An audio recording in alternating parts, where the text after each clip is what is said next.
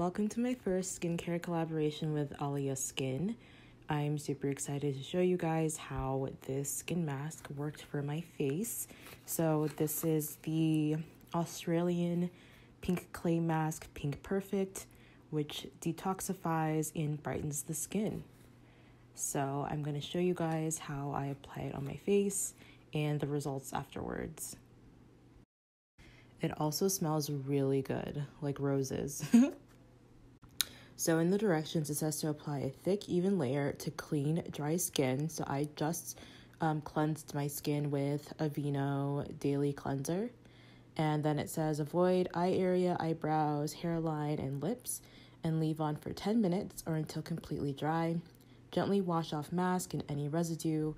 And then it says apply like your moisturizer to finish so I don't have like a facial brush or whatever you call it to apply this mask. So I'm literally just using my fingers. I'm sure it would have applied evenly and better if I did have one, but this is just what we're gonna do right now.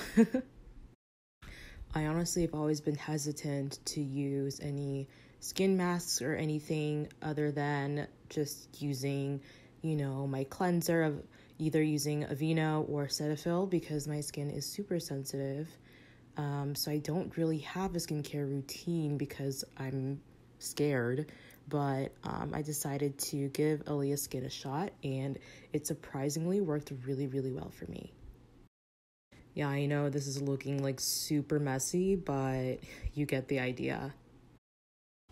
Also, I had no idea whether I was using too much of the clay mask or too little, but yeah, I just kind of tried to even it out a bit. Also, please leave me any tips about how to apply a face mask or anything else about skincare because I'm definitely a beginner.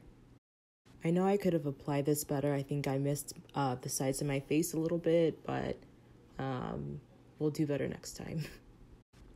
So after applying the clay mask, I'm going to sit here and just wait 10 minutes uh, before I wash it off.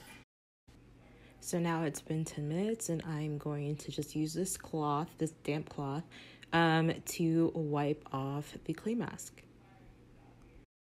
I don't know why I thought removing this clay mask was going to be a bit easier, but it's taking a little work.